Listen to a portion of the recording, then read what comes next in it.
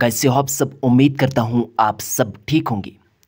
Kashmir university PG entrance session 2023 के हवाले से अभी भी काफ़ी सारे स्टूडेंट्स के मन में काफ़ी सारे डाउट्स है regarding subject wise eligibility students का ये डाउट है, क्या हम कोर सब्जेक्ट्स के अलावा किसी और सब्जेक्ट में एलिजिबल है या नहीं? क्या हम कोर सब्जेक्ट्स के अलावा किसी और सब्जेक्ट में अप्लाई कर सकते हैं या नहीं?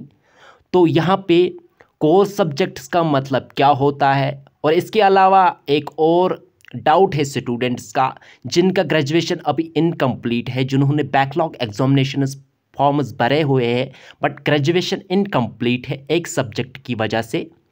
क्या वो एलिजिबल है या नहीं?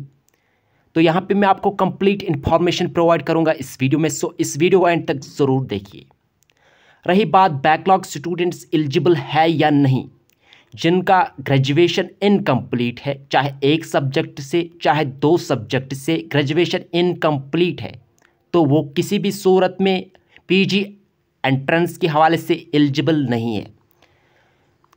Seventh of April last date है एडमिशन फॉर्म सबमिट करने का तब तक अगर आपका ग्रेजुएशन कंप्लीट हो, हो जाएगा तो आप फिर जो है पीजी एंट्रेंस के हवाले से एलिजिबल है।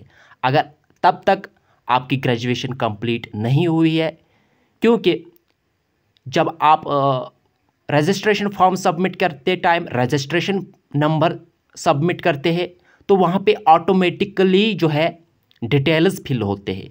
वहाँ पे आपको शो होगा जब आपका बैकलॉग होगा you are not eligible for this course वहाँ पे ऑटोमेटिकली शो होगा अगर आपको किसी सब्जेक्ट में बैकलॉग होगा। तो यहाँ पे अब बात है एडमिशन पॉलिसी एडमिशन पॉलिसी में ये बताया गया है कि जितने भी कैंडिडेट्स ने चॉइस बेस्ड क्रेडिट सिस्टम के थ्रू ग्रेजुएशन कंप्लीट किया है, वो उन्हीं सब्जेक्ट्स में अप्लाई कर सकते उन्हीं पीजी कोर्सेज में अप्लाई कर सकते हैं, जिन सब्जेक्ट्स में स्टूडेंट ने twenty four at least twenty four credits earn किए हैं ऑप्टेन किए हैं course subjects and generic elective courses में।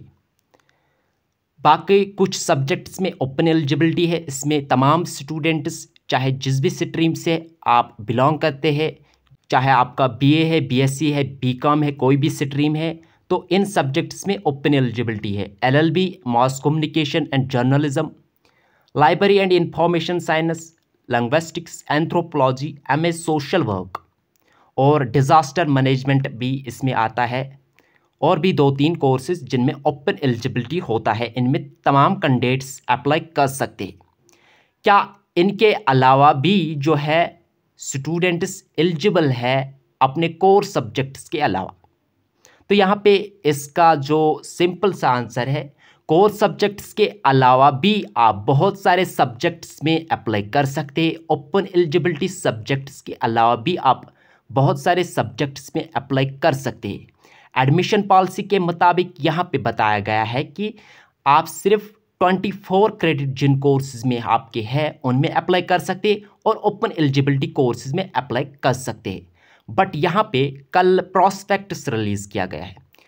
प्रॉस्पेक्टस क्यों रिलीज़ करते हैं? ताकि स्टूडेंट्स देखेंगे कि सब्जेक्ट वाइज एलिजिबिलिटी क्या है। क्या सब्जेक्ट वाइज एलिजिबिलिटी है?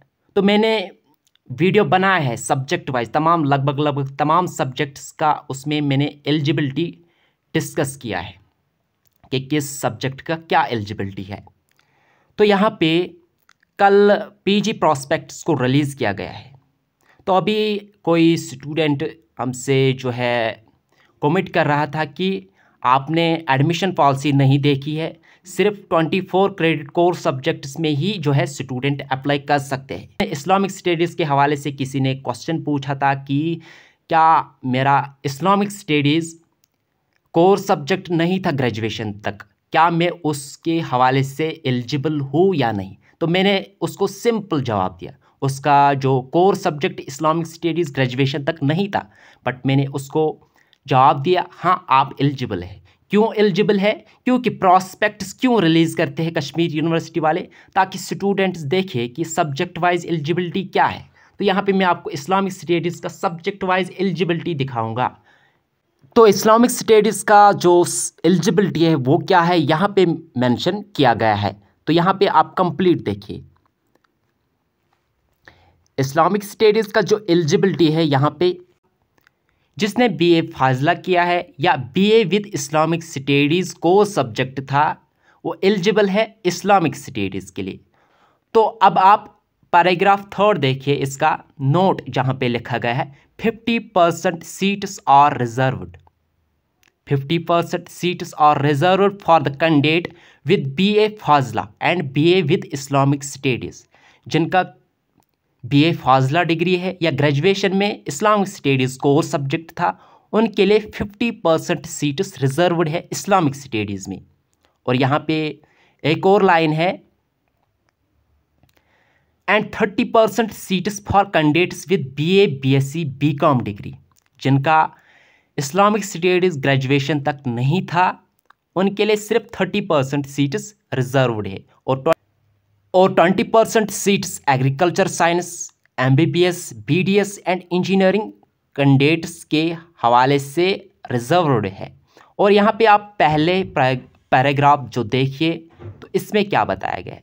बी ए फाजला ने किया है या बीए विद इस्लामिक स्टडीज़ जिनका कोर सब्जेक्ट ग्रेजुएशन तक था, वो इस्लामिक स्टडीज़ के हवाले से एलिजिबल है।